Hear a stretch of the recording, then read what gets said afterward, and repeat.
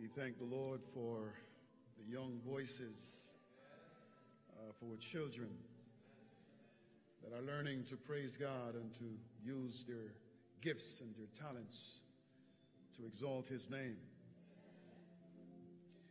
Today we have, you know, a few of our members who are celebrating different things.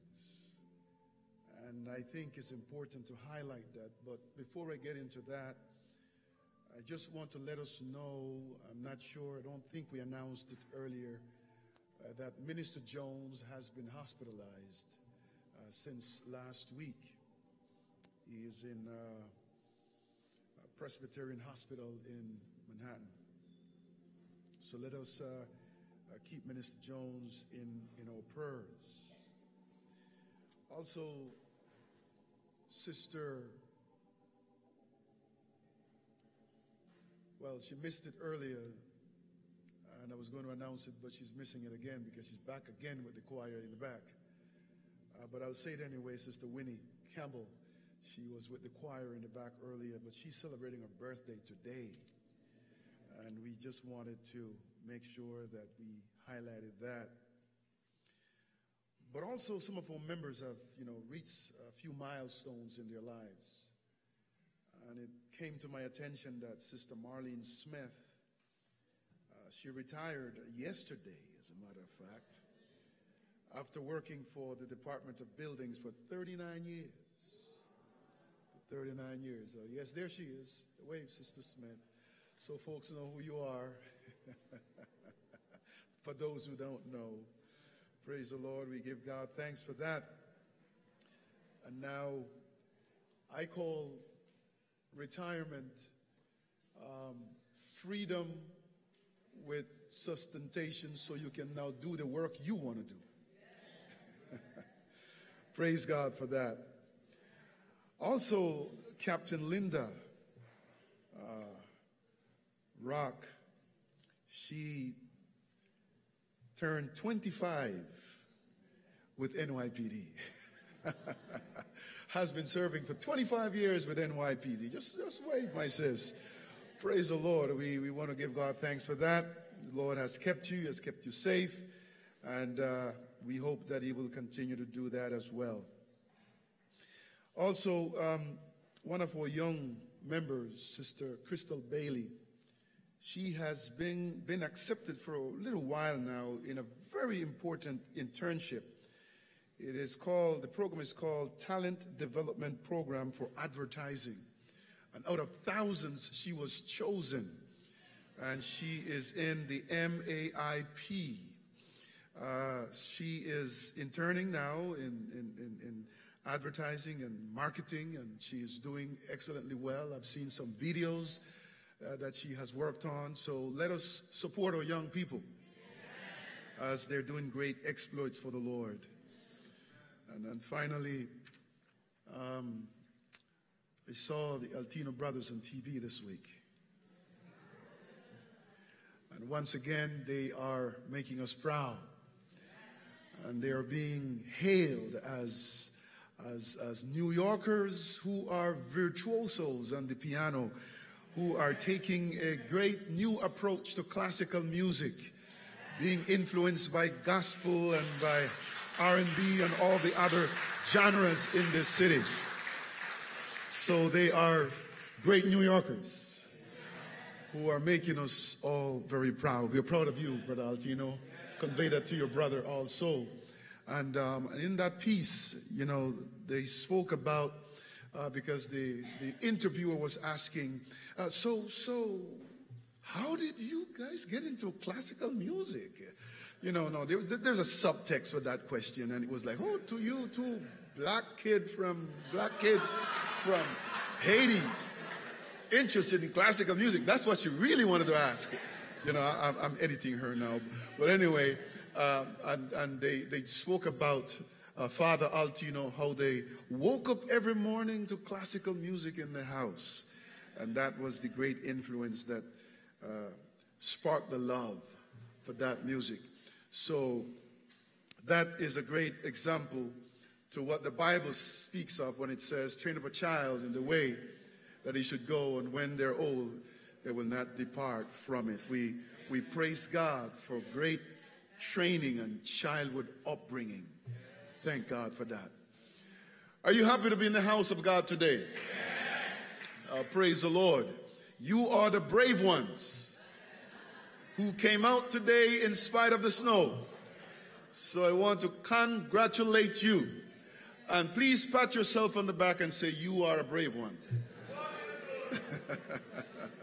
praise, praise the Lord. Praise the Lord. Uh, why don't you stand with me briefly as we read our scripture reading once again? Uh, Second Corinthians chapter 12, verses 7 through 10. Second Corinthians chapter 12, verses 7 through 10. And the word of God says, Unless I should what? Be, should be exalted above measure by the abundance of the revelations. A thorn where? In the flesh was given to me. A messenger of who? Of Satan to do what? To buffet me lest I be exalted above measure. Verse 8.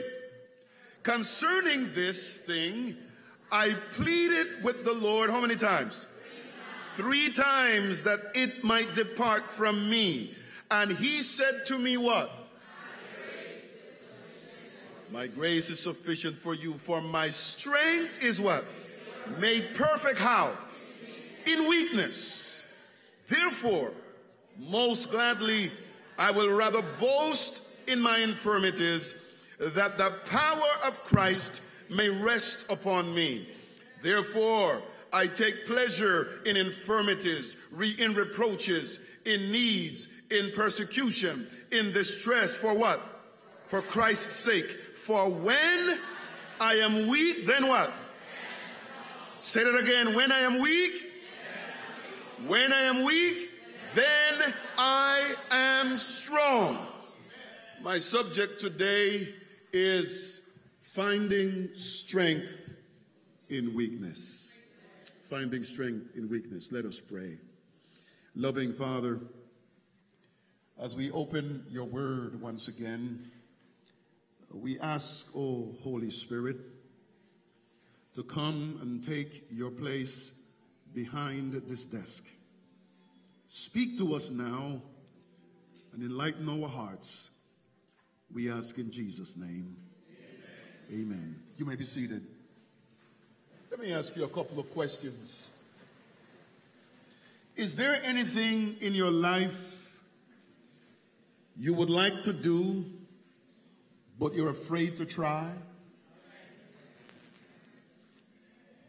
Is there, or is there, or are there things you would love to do, but you feel that you don't have what it takes to achieve it?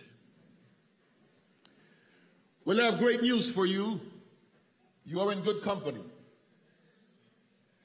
There are many more than you know in this world who have felt the exact same way. They felt they didn't have what it took. They felt they did not have the abilities or the intellect or the finances or the connections or the networks, but they stepped out in faith. And God came through for them. You know, I would like to share with you an experience, not of my own, but of a family that is very close to my wife. The young lady who is the mother of the young man I'm going to talk to you about. He was 16 years old. My wife grew up with her, know her and all the family very well. This young man did not allow anything or anyone to despise his, his youth. This young man at 16 years old in high school, he decided that he would go and step out against what was norm in his hometown and in his uh, posse of friends and classmates. And in fact, he picked up giving Bible studies to people and he would do preaching, even though he didn't know anything about homiletics or how to prepare a sermon or how to exegese a passage of scripture and all those fancy stuff. But he just went and shared from the sincerity of his heart, preaching the word of God, teaching others in Bible study, and many people were baptized through his instrumentality. He went to a retreat a few weeks ago with some of his classmates whom he is getting ready to graduate with later this year. And as they were there on the beach, he was sharing with his dad the excitement that he had a week prior when he was conducting a week of prayer. And from that week of prayer, several young people decided to give their life to Jesus and be baptized. And as they were talking and having a good time on the beach, suddenly a big wave came and, and took five young people. They're, they were floating in these inflated beds and they were just having a good time and having fun. And this big wave came and, and took them out. And this young man, who he was standing there, there with his dad, he, he, he saw what was happening. People started shouting and screaming. And, and he thought to himself, but I am not a great swimmer. And he said it to his dad, I'm not a great swimmer, but my sister is in danger and my friends are in danger. And without thinking it any longer, he rushed into the sea and jumped in and swam out and he, he brought one in and he brought the second one in and he brought the third one, the fourth one in and, and, and the fifth one he brought that person until a certain point and that person was able to come out and be pulled out by some others and when they looked around they didn't see him any longer. By that time some of the the, the emergency crews that they had called to, to help with the rescue, they came by and they start going out and combing the area. And they had these little floaters that they were, they was, they were, they were sailing around, searching, looking and looking and looking and looking. And he was nowhere to be found. His father remained on that beach all day. He sent out a WhatsApp message and he said, Brethren, pray for me. Pray for me. This is hard. It's difficult. It's the most, it's the most painful thing in my life. My son has drowned. Just pray that we find his body. That's all I'm praying for. Please pray with me. And perhaps about a day later, they found him. And his father said something that I will never forget.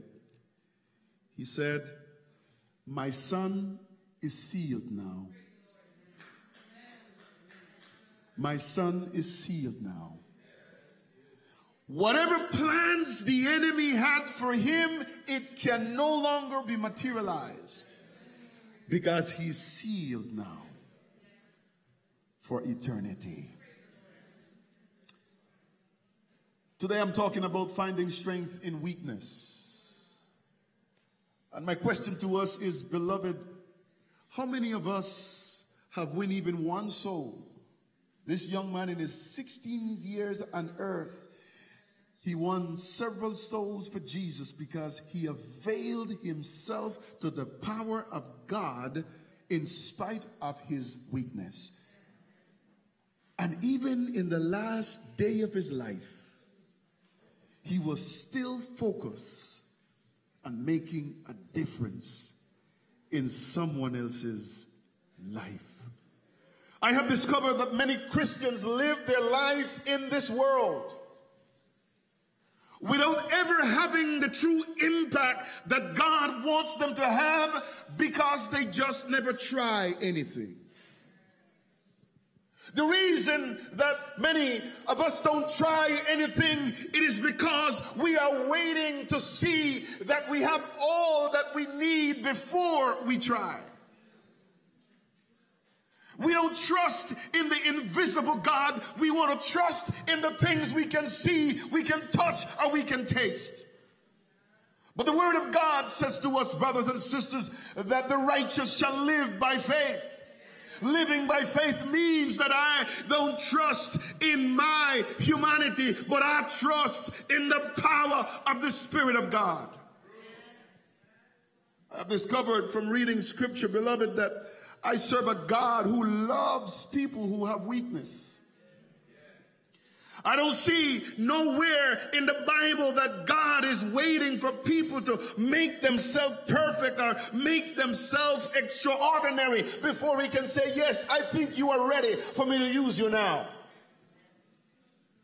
So many of us don't tell somebody about Jesus simply because we believe that I didn't go to seminary. I, I don't know the Bible like that, but you have a story to tell. Tell somebody what Jesus has done for you. He has done much, many things for you. You, you are, you're awake this morning, aren't you not? You found salvation. You found everlasting life in him. Therefore, you got a story to tell.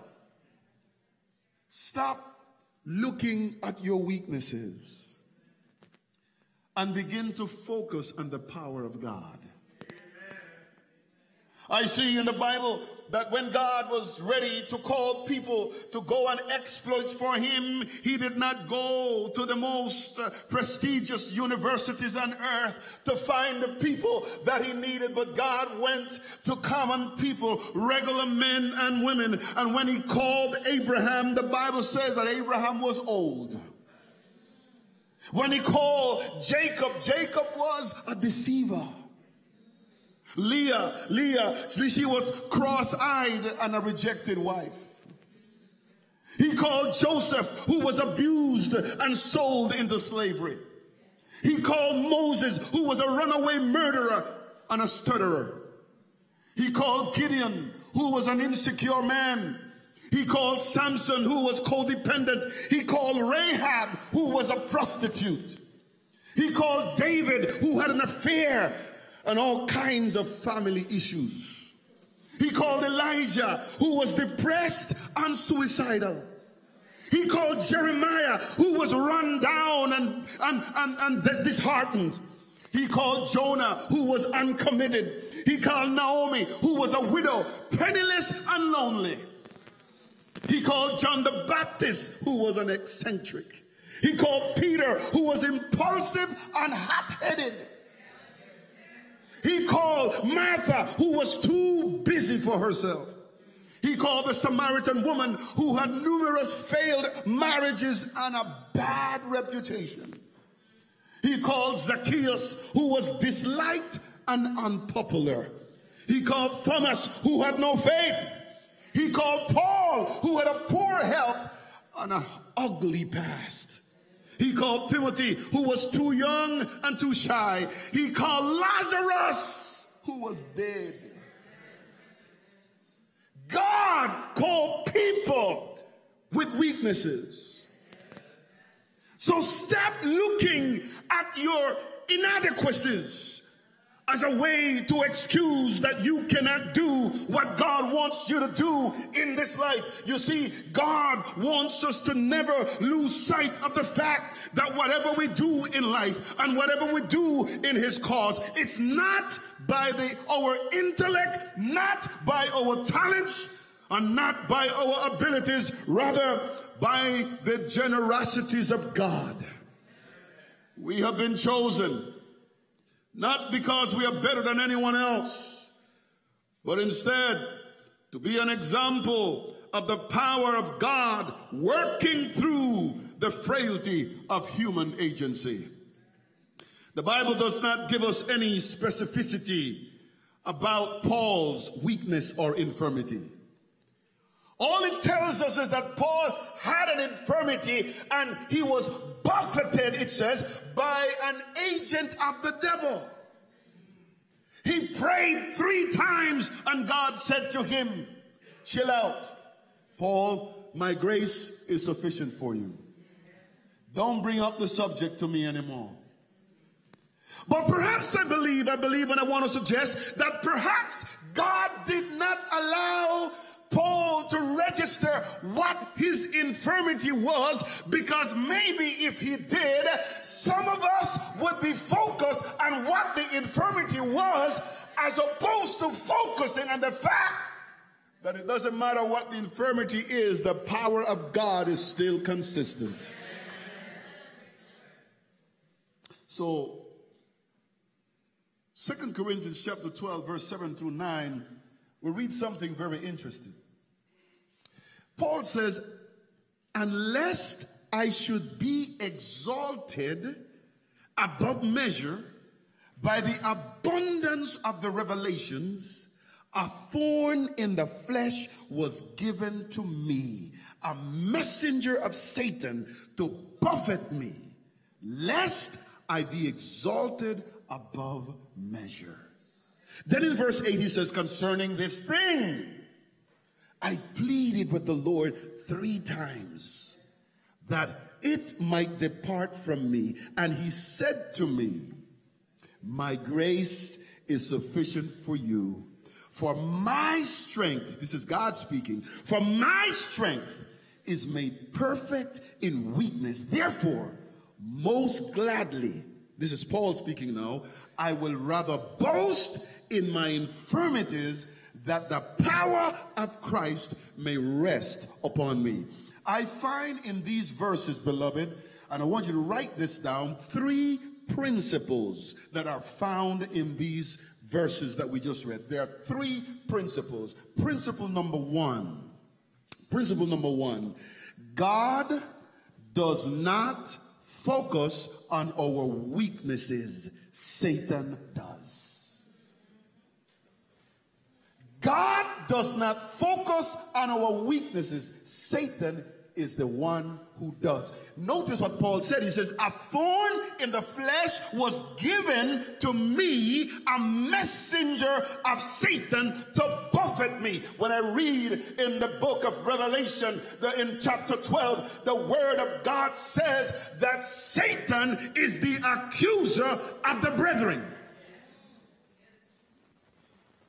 So may I say today, with the authority of Christ, that whenever you meet anyone who is masquerading as a Christian and comes to you accusing his brethren, that's an agent of Satan. Because God does not focus on our weakness. That's the work of the devil. That's principle number one.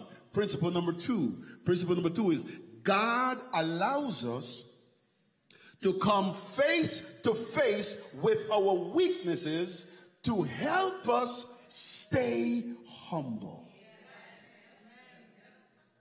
Notice what Paul says. He says, unless I should be exalted above measure by the abundance of the revelations, a thorn in the flesh was given to me. Now, understand how Paul came to this conclusion.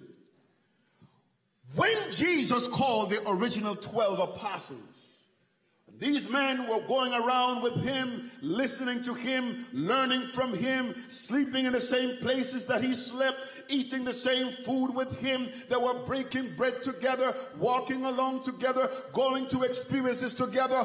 Paul was nowhere to be found. As a matter of fact, he was out there living a different life. He was persecuting the people of God. He was an enemy of Christ. But now, God called him. He entered into the fellowship of the kingdom of God. And even though he was not one of the originals, he received more visions and revelations than all of the others. He did not just come in as a Johnny come lately, but he came in and became big among them. That kind of stuff can make your head swell. And now you can start feeling that. Guys, I, know you guys were hanging out with Jesus, but look at me now. I've written more books than you guys. I have arrived more than you are. You are. I, I, I am the big guy here now.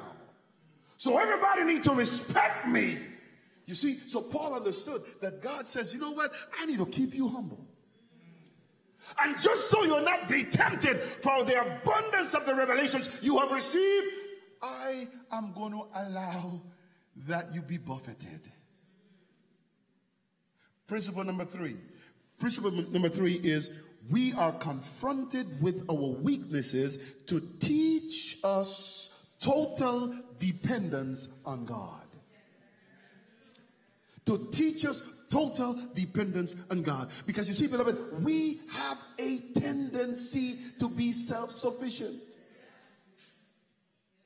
We want to do things on our own. We want to work things out. As a matter of fact, one of the things that, that, that, that, that we, we hear uh, as an excuse, uh, more so than any other excuse, when anyone is being presented with the gospel of Jesus Christ, they always say, almost as as clockwork. They always say i have some things i'm working out. I need to work on them. And then when i get them ready and i'm ready i'll come. You can't get yourself ready. If you could make yourself ready then you don't need jesus. So paul and us needed to learn total dependency on god. And that's why he said that God told him, My grace is sufficient for you, for my strength is made perfect in weakness. Now, beloved, the question now that we need to ask is the following What is a weakness? What is a weakness? There is a Greek word that is translated weakness in the New Testament, and also the same word is used in the Septuagint version. That's the first Greek translation of the Old Testament that was in circulation in the time of Jesus. The same word, whenever weakness is cited in scripture, was also used, and that word is asthenia. Asthenia. And what is the meaning of asthenia? Asthenia means feebleness of body or mind. It also means moral frailty. So watch this now, beloved. Watch this. Watch this. There are two areas that are covered by the word weakness. How many areas did we say? Two areas. These are the two areas. Area number one, moral frailty. Area number two, any form of limitation. Moral frailty or any form of limitation. Let's look at those two quickly. Moral frailty. A moral frailty implies any form of sin or vice or character flaw God does not expect us to identify ourselves by our moral frailties, but by his power instead. There are so many people in our world today, even in the church, who has chosen to identify themselves by their moral frailties. Give an example. People say they, they you know, and, and, this is this is this is science no versus the spirit world. Science says if you are an alcoholic, you are always an alcoholic. But I want to say today that yes, you might have been an alcoholic, but when you were born again, Jesus made you sober. Don't claim that that's what you are anymore. Don't identify yourself by your moral frailty, but identify yourself by your strength and your power and your victory in God. You see, the word says that Jesus came to earth to save humanity from the strongholds of iniquity and from the destruction that comes through sin. You and me, beloved, we are not necessarily punished by, for rather, we are not necessarily punished for our sins. Rather, we are punished by our sins. Sin destroys. So the reason why I avoid sin is not because God is going to come and whip me. No, no. I avoid it because sin destroys. That's why we must hate sin because sin is our enemy. Sin wants to destroy us. So therefore, my friends, brothers and sisters, find strength in finding strength in weakness we find it when we totally surrender our all to God. Give him your everything, the good and the bad, our weaknesses and our strengths. Turn it over to him. The Bible says, submit yourself to God, resist the devil, and he will flee from you. So as a result, the journey of how we overcame becomes our testimony. The story of our personal salvation, that which was our downfall, which was our greatest weakness, now becomes our strength. It becomes something that God can use to save the souls in his kingdom. This is what First John chapter 5 and verse 10 says. First John chapter 5 and verse 10, it says, He who believes in the Son of God, what? Has the testimony where? In himself. He who does not believe God has made him a liar because he has not believed the testimony that God has given of his Son. So when Christ comes to you and me and takes residence in us, now we become God's testimony. Don't hide your story. Because your story is the strength that your weakness wanted to steal from you. So, the Word of God, beloved, tells us that God does not need you to make yourself perfect, inerrant, or even self-righteous for that matter before he can use you. That means, beloved, that God is expecting us not to have reliance on our human strength, but we must acknowledge our competences. Yes, acknowledge them, but and not hesitate to use them. However, we should not put our dependency on them. Because when it comes to matters of salvation, only the power of God can make us whole. If we rely on our human frailty, God will never be able to use us.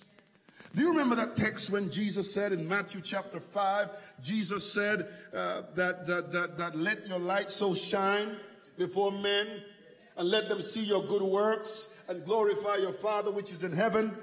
Because if anyone has a lamp, he will not take that lamp and put it under a basket.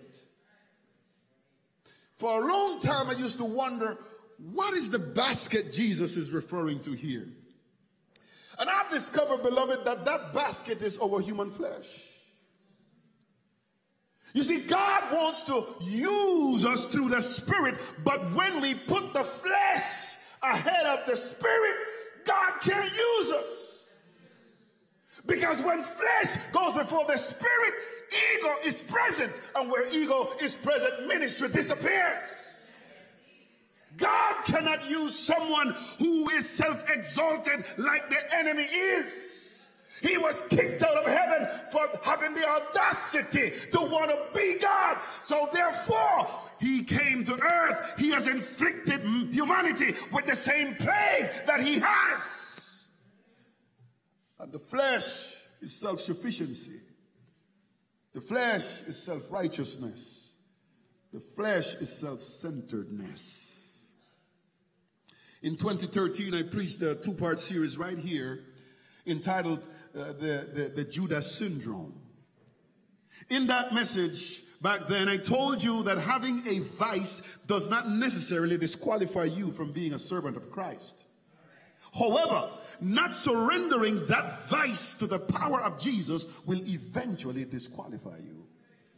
If you do not take control of your vice, it will control you. If you do not bring your vice to Jesus and allow Him to destroy it, it will destroy you. That's how it works. It's a simple equation. God is saying, bring me your mess and I will make you blessed. What we don't confront, beloved, we will not overcome. So please understand, please understand that this confrontation with our weakness of character or our sin is not shameful, belittling, or condemning. We must understand the principle here. That's not how God operates. You see, shaming and belittling, that's the work of the devil. He is the accuser of the brethren. As a matter of fact, what I've learned from scripture is that God instructs us that if we patiently lead someone to repentance, he says, and the Lord shall cover a multitude of sins. It is the devil who wants to take your sins and hang them. You know, they don't do that here, but you know, some of you came from Caribbean and other places, we, we, we wash clothes and we hang it outside, right? We, we hang it on the line outside. And then anyone passing by, driving by, they see all your clothes just waving in the wind. Okay, so so the devil wants to hang a line and take all your sins and your mess and hang them out for the world to see because he wants to shame, he wants to belittle, he wants to destroy. But God is not interested in that. God wants to save. And that's why He invites us to repentance. You see, what God does is rather a personal and gentle confrontation. It causes the sinner to cast his weaknesses and all his cares on the one who is all powerful, who is merciful, and who is forgiving. Because God has no use for sins.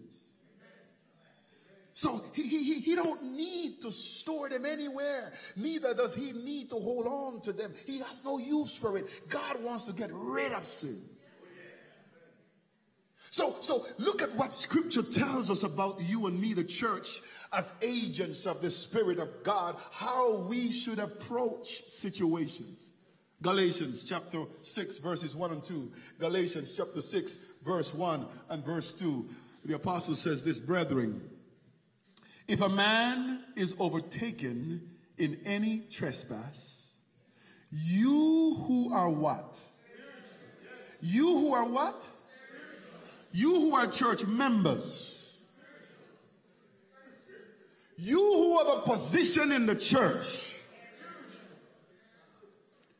you who wants to defend the honor of the church, you who want to rid the church of sin. You who want to say enough is enough, the standards are going down, we got to do something about it, we got to take it in hand. Who should go? You who are spiritual.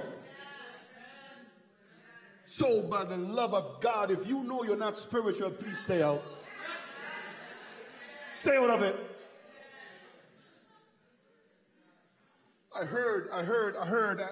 Uh, brother, I read a very insightful thing that one of my favorite authors, John C. Maxwell, said. It was so profound, I took note of it.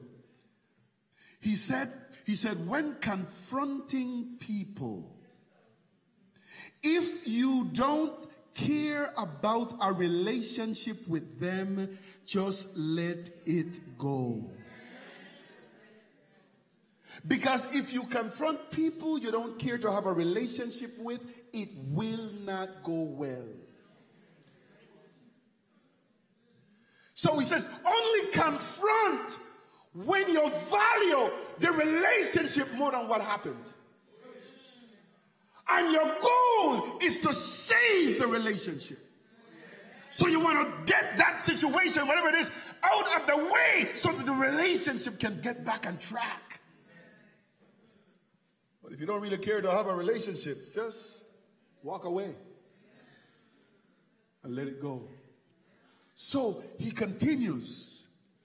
So you who are spiritual, he says, to restore such a one, how?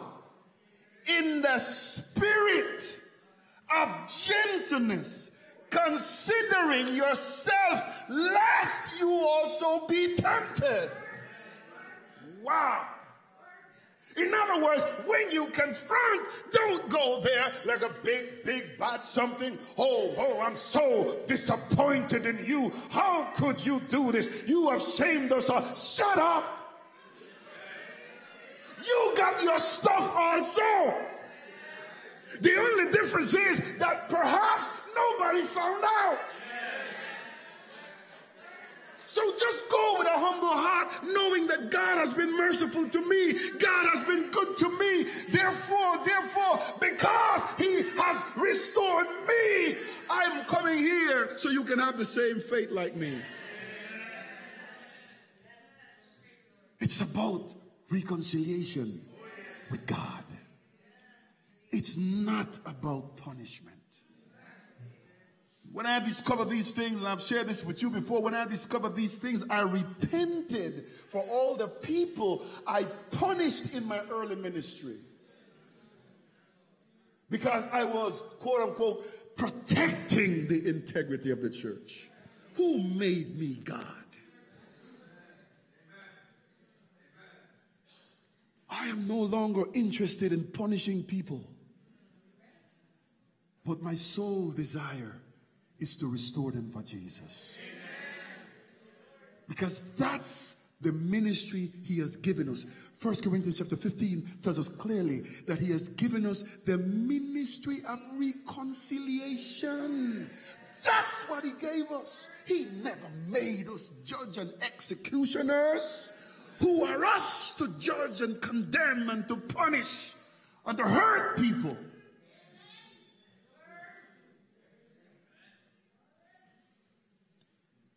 Rather, I see in the word that the Lord says that anyone who dare to hurt one of these little ones, it is better for him to take a millstone and tie it around his neck and go jump in the sea. And, and, and maybe, and I'm adding this piece, uh, jump in the sea in the areas where they haven't found the bottom.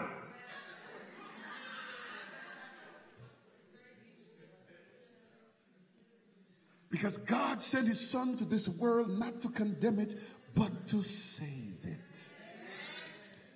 God's intention is to redeem the sinner and to save the sinner and then turn around and use that sinner for his glory. Area number two, area number two, any form of limitation. Area number two of weakness, any form of limit, limitation. You see, the, the word, there are limitations that we all have. Some limitations are inherited ones from our ancestry. Uh, limitations sometimes that we have no power to change. These may be physical limitations like a handicap or a chronic genetic illness or a disability and so on. It may also refer to emotional limitation, like a painful memory, a, a personality disorder, a trauma, wound, or an inborn predisposition. We all have weaknesses. That's the fact. We all have flaws. We are a beautiful package of imperfections. That is why whenever I encounter some folks who say, I am going to leave the church where I am at because the people, they're hypocrites and the people there, they're, they're not good and they're not kind and, and they're going on and on. And I say, I usually say, you know, just, just be mindful that the church you're going to have people have issues as well. So if, if you're an issues driven individual, you may drive yourself out of the faith because there's nowhere you're going to go on this side of eternity where you're not going to find people with issues. It reminds me of that story of uh, uh, that great uh, British preacher Charles Spurgeon, and he, he preached his heart out one Sunday. And at the door, as he was greeting parishioners, one young man came to him and said, uh, Dr. Spurgeon, I am leaving your church. He said, Why would you do that? He said, This is my last day because I have found that your church is full of hypocrites. And he said, I'm so sorry to hear. He says, Yes, I'm leaving. So say, Where are you going? He say, I am going on a quest to find the perfect church. He shook Dr. Spurgeon's hand and then began to walk away. And as he was walking away in his sanctimonious walk, Dr. Spurgeon said, Could you do me a favor? He turned back and he said, Sure, uh, absolutely. Uh, what, what would that be? He says, When you find that church, by the love of God, don't join it. He said, Why would you say that? He says, Because if you join it, that day will no longer be perfect.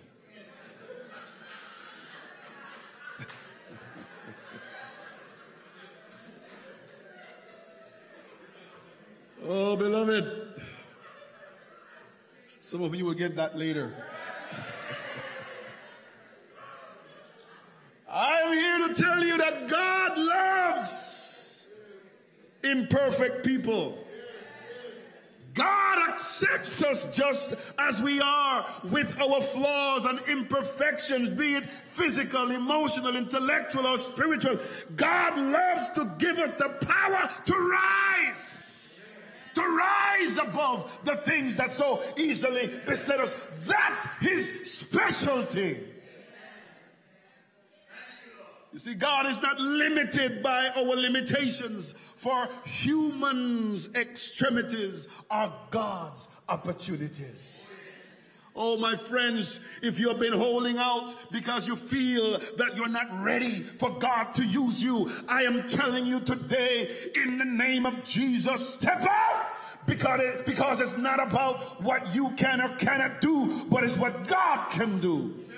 I came by here to tell you that God wants you to find strength in your weakness so that, like Paul, you may say, Most gladly, I will rather boast in my infirmities, uh, that the power of Christ may rest upon me. Therefore, I take pleasure in my infirmities, in reproaches, in needs, in persecution, in distress for Christ's sake. For when I am weak, then I am strong. Hallelujah. Hallelujah. So finally, finally, finally, finally, let, us let's deal with the how now. How do we find strength in weakness? How do we find strength in weakness? There are four keys to unlock the strength that are imprisoned by your weaknesses. Are you ready for them? Number one, key number one. Acknowledge, admit your weakness. Acknowledge or admit your weakness. You see, brothers and sisters, God wants us to stop pretending. Stop acting like you've got it all together. Because even the people you are telling that you're just so fine, they know you got issues. So, so, so let's stop trying to fool ourselves and to fool others and let's be real. And then, church, let's be ready to lend a compassionate ear to folks when they are ready to unload. Don't say, How are you? and then keep walking. Stay, stay, stay for the answer. Because the answer one day may just not be, I'm fine. So, so, so, so be honest with yourself because God cannot be and will not be impressed by our putting ons and our self sufficiency. This is a humble recognition and it necessitates the acceptance of our human fallenness. You see, spiritual warfare will be won not by might nor by power, but by my spirit, says the Lord. Finding strength in weakness demands a humble recognition of areas where we are weak, but yet we believe that our weakness is not, uh, uh, is no match to the power of Jesus. So we need to be humble and recognize that Jesus is the only true source of salvation and strength for humanity. But please, after you have used this key, don't stay with this key only. You need to keep moving on. Don't, don't stay dwelling, admitting only that you have weakness. Get key number two. And key number two is this write this down. Recognize your weakness as the corruption of your true strength. Recognize that your weakness is the corruption of your true strength. You see, you see, beloved, you see, here is something that, that, that I want you to never forget. Righteousness goodness and perfection existed for millennia before imperfection came into the world. What that means is, beloved, that perfection and righteousness and goodness can exist all on its own. But but but imperfection can only exist when it has corrupted that which is perfect. Imperfection cannot exist on its own. So, whenever you're dealing with imperfection, take your eyes off the imperfection and look around. There is the other side of what has been corrupted. That is the true strength that the devil wants to hide from you. And that's why he wants to keep us focused on, I got this issue, I got this issue, I got this issue, I got this issue, I got, yeah, yeah, yeah, we know you got the issue. No, lift your head up, look around, because behind you, there is the power that God has given you to overcome. So understand that your weaknesses are the corruption of something great within you. And that's why Paul heard from the Lord when he says, My grace is sufficient for thee. For my strength is made perfect in weakness. Your weakness increases your capacity for sympathy. It increases one's compassion and our capacity for ministry. For only a heart full of compassion can connect with people. You see, if we were to walk around uh, feeling that we have no issues at all, we will just walk over people. We become judgmental of people because we don't know where they have walked. That's why I have a Savior, the Bible says, who has been touched with the feelings of our infirmity. He was tempted in all things, yet without sin. He is not ignorant of what I go through.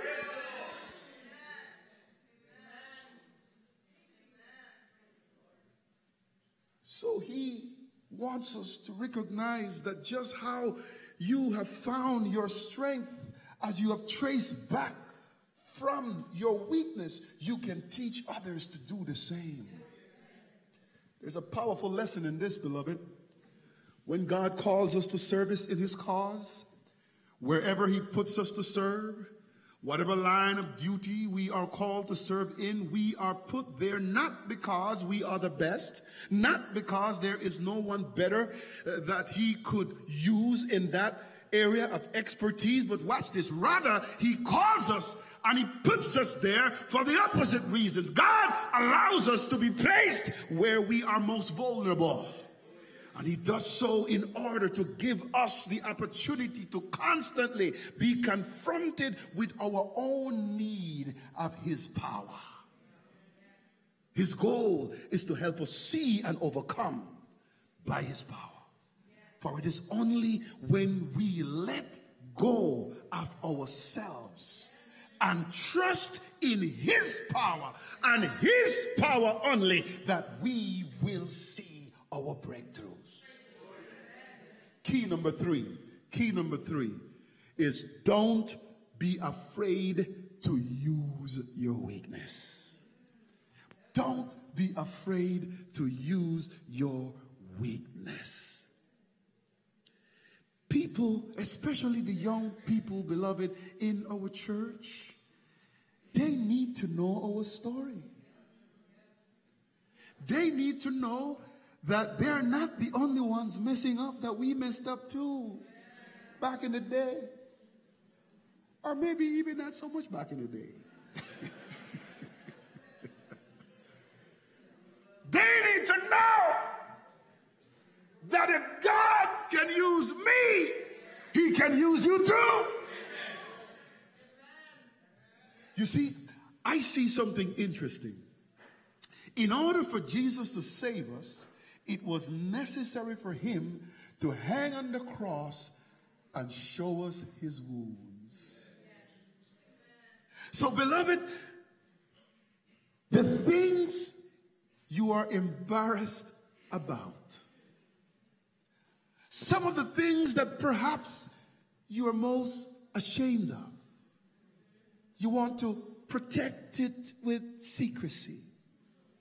You are reluctant to share. These may be the very tools that God can use most powerfully to heal someone else. Some of us may be crippled by uncontrolled or uncontrollable circumstances such as financial limitations and relational dysfunctions, but please know that the real issue is not that we have issues, but what we do with them. You see, on the cross, Jesus' wounds were bare before everyone to see. Isaiah tells us that by his stripes we are healed. After his resurrection, he showed his wounds several times to give hope and encouragement to his defeated, stricken disciples. I'm here today to say that God can use your weakness and your pain, your traumas and your limitations, and turn them into powerful saving instruments. When others see God using you in spite of your weaknesses, it will give them hope. They will be motivated to think, maybe God can use me too. So, beloved, we need to make ourselves vulnerable and let others see our wounds. And finally, key number four. Key number four is give thanks for your weakness. Paul said in 1 Corinthians 12, verse 10, he says, Therefore, I take pleasure in infirmities, for when I am weak, then I am strong. The Bible tells us that in all things, give thanks. You see, the natural tendency is to deny weakness, to defend them, to excuse them, to resent them, or worst, to ignore them. So we come to church week after week, hiding our pain We make up excuses about, oh, you see, I, I can't trust nobody in my church. I don't trust those people. And we say all kinds of stuff. But, but, but beloved, if all of us continue to have uh, that feeling about this group that God has set aside and put together to be a support group for the rest of us, it will never become what God wants it to be. So we hide and we deny our emotional scars. And the problem is, beloved, that these things don't remain hidden. They will always come out. And that's why so many times in, in, in, in, in, in the kingdom of God, in his church, in this space where men and women ought to be moved and controlled by the Spirit of God, because we have not emptied ourselves from those emotional garbage that we're carrying, then we come to church and we fight and we, we, we get on each other's nerves and, and, and we tear down and we compete uh, and, and, and we, we, we, we, we profiled and we, and, and we, we do all these things that are contrary to the kingdom because we have unresolved situations we have not emptied out. So, so many times the rude behaviors we see in church are people who are wounded. Hurting people hurt people. And if we can't find healing here, then where? Now, I'm not saying that all cases can be resolved in church. Some cases we may need some therapy, and that's okay. If you got cancer, you're not going to just come church and pray. You're going to go see the doctor too, right? So if you have some kind of emotional dysfunction that you are dealing with, by the love of Jesus, go find the necessary professional help that you need. It will only make you a better Christian. It doesn't take away from your faith, it adds to it. It is time that God's people may allow God to take their weaknesses and make it in their strengths. So I, I, want to say to us today, don't be afraid of your weaknesses, for your weaknesses cannot eclipse the power of God. The contrary, to the contrary, your weaknesses make room for the manifestation of divine power. Brother Altino, I need your help. Uh, I want you to help me with the keyboard. I, need you to give me a, a synthetic sound. I want to end with this.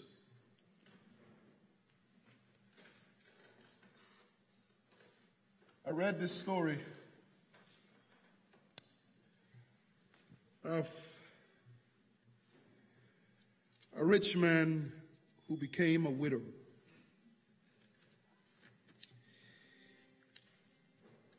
He became a widower and he had an only son. His son and him got very close. I want you to keep in mind, beloved, that I'm still talking about the four keys. Let me just say them quickly to remind you. Admit your weakness. Recognize your weakness as the corruption of your true strength. Number three, don't be afraid to use your weaknesses. And number four, give thanks for your weaknesses. This man, he was wealthy. He had a large estate and he would collect works of art. He had all the, the famous artists that you can think about Picasso and Raphael and and Rembrandt and all these great ones. He, he had them all, and he was the envy of so many that run around in his circles. The Vietnam War came around, and his son was drafted, and he was sent to Vietnam. He was a brave soldier, and he died in combat. The story said that he, he was rescuing some of his comrades. And as he was carrying one of his fellow soldiers, the soldiers at his shoulder, he was struck in his heart by a bullet and he died instantly. When the father received the news, you know, he got that knock on his door, and these uniformed soldiers came there and they delivered a flag and they delivered the news. This man fell into deep grief. His son was all he had, his wife was already gone, and his son was his pride and joy. He grieved day and night. Day and night. He went through bouts of depression and all kinds of emotional challenges. One Christmas, there was a knock on his door. And when he went to the door, there was a young man standing there with a large package in his hand. And the young man said to him, Sir, you don't know me. But I am the soldier that your son gave his life to save. It was me that he was carrying on his shoulder that day when he was struck by a bullet in his heart and died instantaneously. He said, Your son loved you very much. He always talked about you and he always spoke of your great love for art. So he said, I am not a great artist, but I know your son will be happy for me to give this to you. And he gave him the large package he had in his hands. And when the father opened it up, it was a portrait of his son. He was so struck by how this young man was able to capture in this portrait, he was able to capture his son's personality. He was deeply drawn by his son's eyes.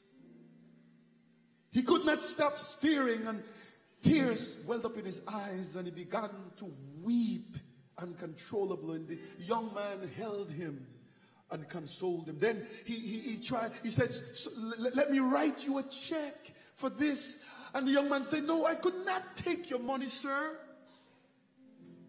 He said, This is a gift. He says, I'm a wealthy man. I could pay. He said, No, I don't want. I cannot take your money. Your son has already given his, given his life to save mine. This is just a small thing that I want to do to show my appreciation. The man took the portrait of his son and he moved, removed one of his uh, uh, uh, expensive pieces that he had in his living room and he hanged the portrait of his son in that place. And every day he will come out and look at the face of his son. And anyone, anyone who would come to visit in his home, he will take them there and show them the portrait of his son and speak of him and how he was a hero who saved lives and died saving others. A few years passed and this man died.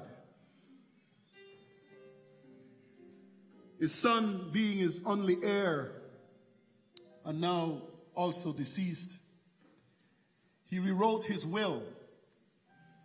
And in his will, he said that all his estate should be auctioned off. So the day for the auction came, and all the people in his circles all the people who have always envied all the pieces of work of art that he had and had collected over the years, who really wanted to get their hands on it. Oh, that auditorium was just so full of people who call themselves the sophistication of society. They were there, they were ready. Uh, and sitting on the podium, there was the portrait of his son. And then the auctioneer uh, called to order the auction and he said, Well, ladies and gentlemen, we are ready to begin the auction today. And we begin with this portrait of the owner of the estate's son. I would love to begin this auction of the owner's son by asking for $200. Anyone, $200 for the son. Silence in the room. No one is saying a word. Soon after, in the back of the room, someone shouted, We came here for Rembrandt and Picasso. We don't want the son. Get that out of the way. Bring out the real art. The auctioneer continued patiently. The son. Anyone, $200 for the son.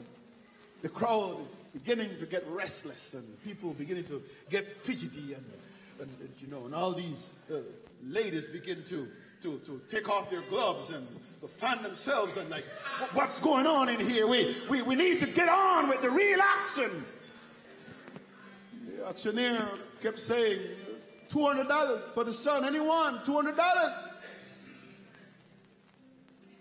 And then in the back of the room, he wasn't a part of those who were going to partake in the auction. There was the gardener who had taken care of the grounds of the estate for the owner and his son for many years. He was not a rich man at all. As a matter of fact, he did not have $200 to bid for the portrait of the son, and he timidly raised his hand, and the auctioneer said, Sir, you want to bid $200? And say, No, no, I'm, I'm so sorry. Please forgive me. I know I don't belong here because I can't afford any of the things that are going to be actioned in this room. But, but since it seems like nobody wants the portrait of the son, just so that we can proceed with the auction, um, I knew the son, I love the father, and I love the son. All I have is $10, sir. Can I bid $10 for the son? And he said, Well, well, since there's no other bid on the floor, well, we we accept a bid for $10 for the son. Is there $20? Anyone with $20 for the son? Silence in the room. Somebody said, Give the man the, the, the portrait of the son, and let's just get on with this. $10 going one, $10 going twice. Ten dollars thrice sold the, to the gentleman the portrait of the son for ten dollars. And then when he delivered the portrait of the son to the gardener, the auctioneer then said, Ladies and gentlemen, the auction is over. And the people says, what are you talking about? We came here for Picasso. We came here for Rembrandt. We came here. And he said, please, please, can everybody quiet down? Let me explain. There was a clause in the will that said that I could not reveal this clause until this moment. And the clause said the following, that the, the portrait of the son was to be auctioned off first. And whoever purchased the son inherit the entire estate. oh, ladies and gentlemen, this man, the gardener, he came to a room where he felt that he did not belong. He recognized his own weakness. He recognized that in his weakness was a corruption of his true strength. So he was not afraid to use his weakness. He gave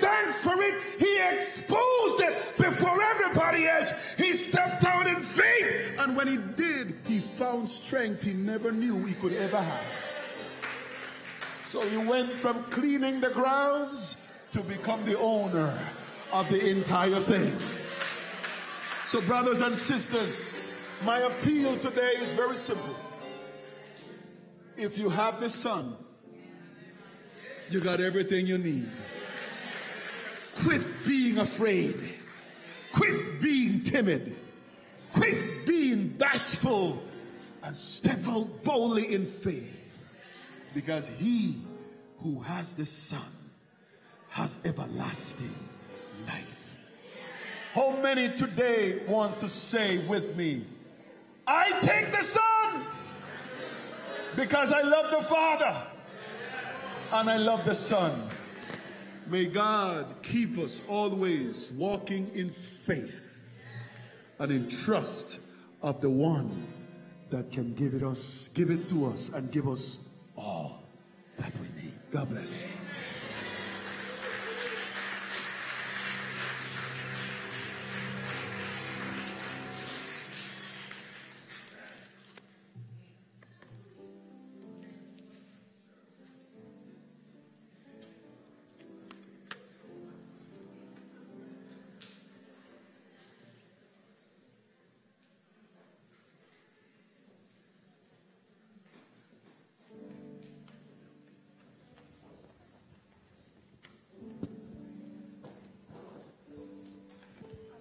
Now stand and turn our hymns to hymn 524.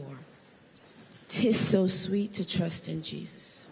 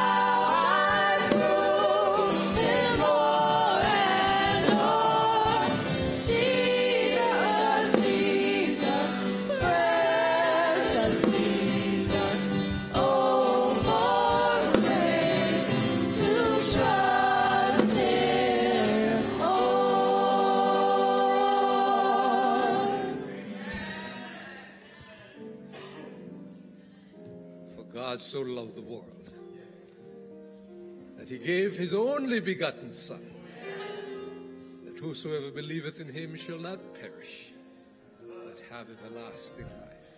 Thank you, Pastor, for reminding us of the wonderful gift of Christ to us. And now may the grace of our Lord and Savior Jesus Christ, the love of God, and the fellowship of the Holy Spirit rest, remain, and abide with us both now and forevermore. Amen.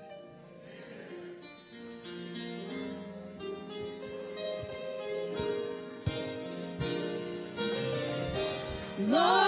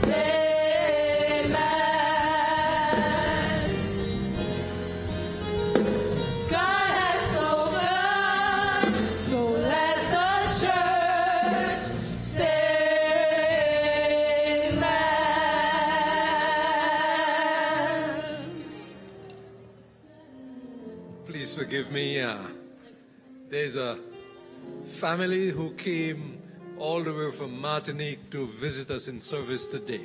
Where is that family? Are they? Oh, over there. We are happy to have you today. And uh, God bless you for worshiping with us today. And please, when you are back in uh, New York, please come and visit us again. Thank you very much.